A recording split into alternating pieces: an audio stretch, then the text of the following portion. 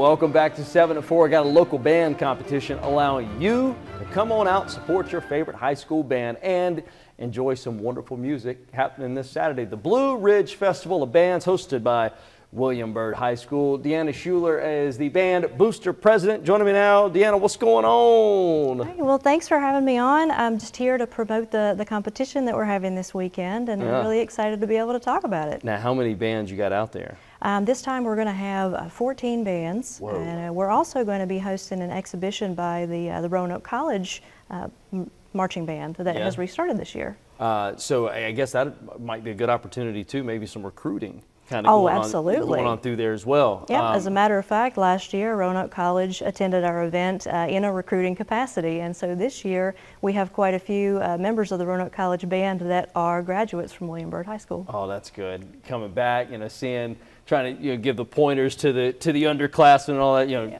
puffing their chest. What is that? So you you were telling me off camera about three years you've been involved. What what does that mean to you as as not only as the president but as a parent, knowing that colleges are now uh, we're, we're, having a pipeline to college with these band competitions. Oh, it's, it's huge. It's, it's so huge what we can do for students. Uh, just being there, being supportive, opening up those avenues, you know, getting opportunity for them to kind of showcase talent for folks that are watching, and also just to encourage that, uh, that love of music and the ability to extend that, you know, beyond into careers and, and future teachers. Yeah, about how many, how big is the, the Byrd Band? The Byrd it's, Band has uh, 75 students this year. That's a, and that's a pretty good sized band. Yeah. I mean, for, for high school, I mean, you think like, like college sized bands too a little bit. Um, and, and I'm, I'm a sucker too because I love William Byrd's football field. I like it's beautiful over there. Like there's a, there's a beautiful scenery everywhere. A, a, just a great spot to have uh, a band competition uh, and a festival. So for maybe somebody that's never been to a festival like this or band competition, what what can I expect walking in there brand new? Okay, so to walking in, what you can expect, it's going to be a full day of marching band competition. Uh, we start things off around 12:45. Our first band starts showing up and getting ready to take the field. Mm -hmm. um, 2:20, we're going to kick it off with the national anthem, and then our first bands will start to perform. Uh, they perform in competition.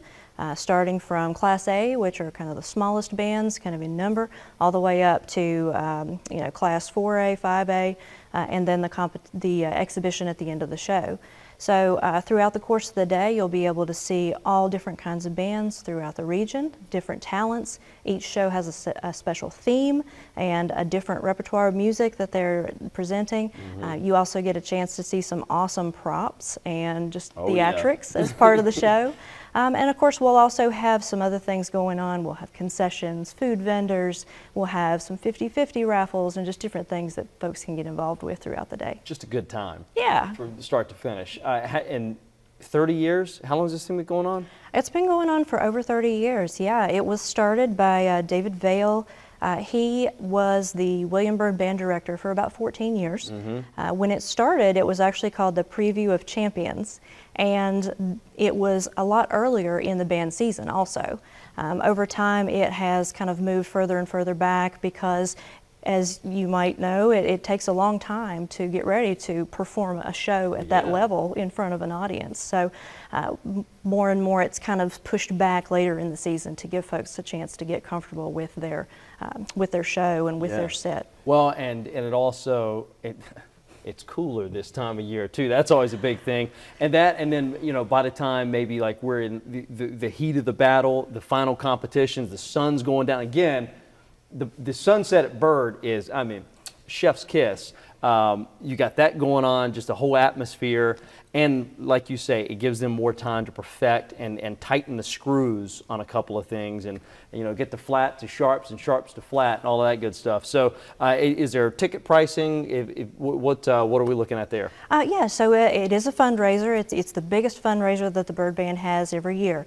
Uh, so ticket prices are uh, $10 for adults, $5 for children, good and deal. then kids 5 and under are free. Clear bag policies, anything like that? Yes, there is a, Roanoke County has a clear bag policy, so we just strongly advise anybody bring their things if they, they need them, their necessities in a clear bag. Um, otherwise, uh, there's just the usual, you know, you attend a high school game or, uh, you know, any kind of sporting event, just try to follow those general guidelines. There you go. Uh, and we'll put all the information on the screen now and as well over on WDBJ7.com. It's getting kicked off. Uh, first notes ringing out right about 2:30 on Saturday afternoon. So get out there and I mean, like like we were talking, hours and hours of just very good music and go support the kids. I mean, this is the other thing too. You know, I mean, they they put a lot they put a lot of hard work into this. Yeah, absolutely. They start in midsummer Yeah. to, to prepare for this show. All right, uh, Deanna, good to see you. Thanks for coming on and go out and support them.